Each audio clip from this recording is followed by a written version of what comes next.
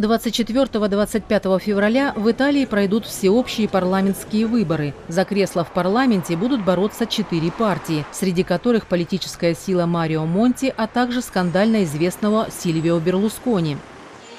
Для политика это станет последней большой избирательной гонкой. Возможно, он хотел бы представить себя на международной арене большим государственным деятелем, но для многих он по-прежнему известен скорее благодаря своим неудачным шуткам.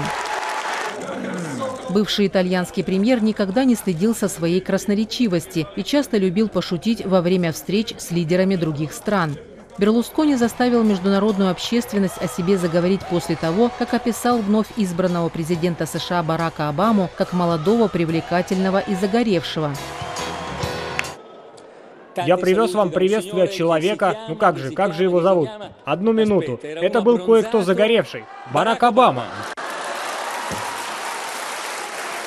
Эту речь он произнес после визита в США в 2009 году. Он добавил, что, к его удивлению, жена Обамы Мишель и сам Обама загорают вместе, потому что Мишель тоже загоревшая. А это видео стало хитом на YouTube. Во время позирования для общего фото после саммита Большой Двадцатки Берлускони выкрикнул имя Обамы с такой экспрессией, что тут же получил замечание от королевы Елизаветы.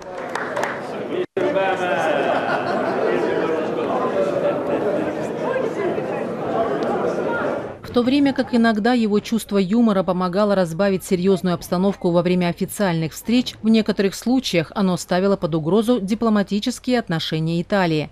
В 2003 году Берлускони сказал члену парламента Германии, что он подошел бы на роль надсмотрщика немецкого концентрационного лагеря в итальянском фильме.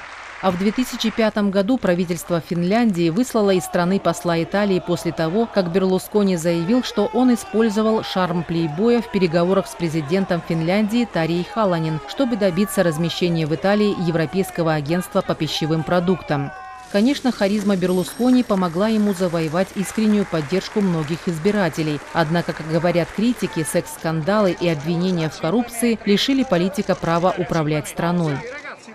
Шумиха вокруг премьера вспыхнула с новой силой после того, как выяснилось, что политик лично звонил в полицейский участок Милана, чтобы попросить об освобождении 17-летней стриптизерши Руби, задержанной за воровство. Позже девушка сообщила, что посещала вечеринки на даче Берлускони. После этого сохранять поддержку избирателей стало все труднее. Особенно на фоне гор мусора в Неаполе, падающих руин Помпеи и наводнений в регионе Венетта. Его попытки исправить ситуацию, похоже, еще больше ее усугубили. Если я иногда вижу красивую девушку, я бы сказал, что лучше любить девушек, чем быть геем. И это было не впервые, когда 74-летний миллиардер отказался приносить извинения за свою любовь к противоположному полу и вечеринкам.